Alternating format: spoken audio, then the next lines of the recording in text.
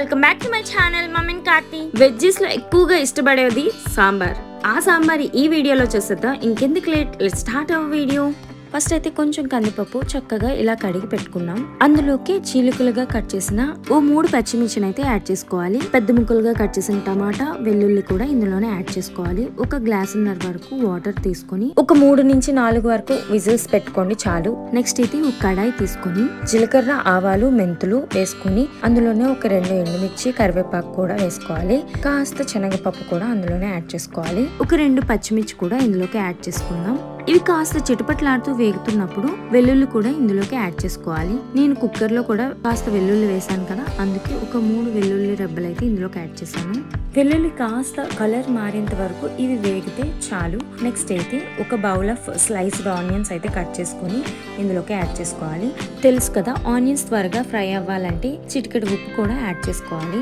Vegetarians అయితే సాంబార్ అంటే చాలా ఇష్టపడుతూ ఉంటారు. అండ్ సాంబార్ అయితే నా ఫేవరెట్ మీరు కూడా నాలాగే సాంబార్ ఇష్టపడితే నాకు కమెంట్ చేసి చెప్పండి.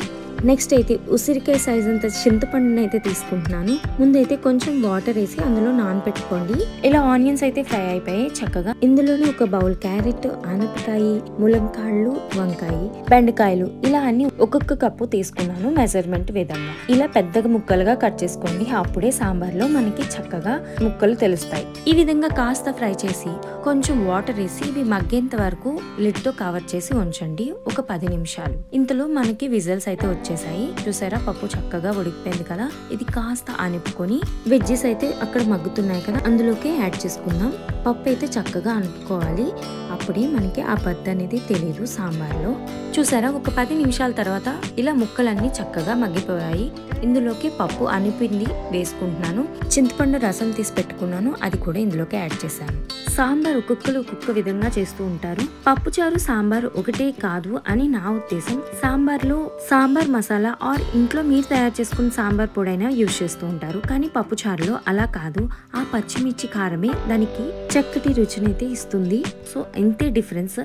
సాంబారు పప్పుచారుకి చూసారు కదా ఒక స్పూన్ సాల్ట్ వేసాను ఇంకా కొంచెం పసుపు. ఇందులోకి సాంబార్ పొడి ఒక మూడు ఫుల్ టేబుల్ స్పూన్స్ అయితే నేను వేస్తాను. కొంచెం ధనియాల పొడి కూడా ఇందులోకి యాడ్ చేశాను. అంటే ఒక అర టీ స్పూన్ ధనియాల పొడి అనమాట మీకు నచ్చితే జీలకర్ర పొడి కూడా యాడ్ చేసుకోవచ్చు. చెప్పాను కదా సాంబార్ అనేది ఒక్కొక్కరు ఒక్కొక్క విధంగా చేస్తారు. ఇదైతే నా స్టైల్లో సాంబార్. ఒకసారి ట్రై చేసి చూడండి చాలా టేస్టీగా ఉంటుంది. ఇందులోకి ఒక టేబుల్ స్పూన్ కారం కూడా యాడ్ చేసుకోండి. ఇవి ఒక్కసారి కలుపుకొని నెక్స్ట్ అయితే ఇంగువ లేకుండా సాంబారా? సాంబార్లో ఇంగువ లేకపోతే ఎలా? అందుకే కాస్త ఇంగువ కూడా యాడ్ చేస్తున్నా. లిక్తో కవర్ చేసుకొని ఒక ఐదు నిమిషాలు అలా మరగనివ్వండి. అప్పుడే మనం వేసిన మసాలాలు అన్ని ఆ సాంబార్లో చక్కగా ఇముడ్చుకుంటాయి. ఇలా ఒక ఐదు నిమిషాలకు మరిగాక చూసారా ఎంత చక్కగా మరిగిందో? ఇప్పుడైతే కాస్త కొత్తిమీర కూడా ఇందులోకి యాడ్ చేసుకోవాలి. చూసారా? నూనె ఇలా పైకి తేలాలన్నమాట. అప్పుడే మన సాంబార్ చక్కగా మరిగినట్టు. చూసారా? పర్ఫెక్ట్ సాంబార్ ఏ విధంగా రెడీ చేసుకున్నామో. ఇంకెందుకు లేట్ మీరు కూడా ఇలా ట్రై చేసి ఎలా ఉందో నాకు కమెంట్ చేసి చెప్పేయండి. సాంబార్ ఇష్టపడే వాళ్ళు ఈ రెసిపీని అయితే అస్సలు మిస్ అవ్వద్దండి. ఈ విధంగా ట్రై చేసి చూడండి. చాలా టేస్టీగా ఉంటుంది. Thank you for watching see on next video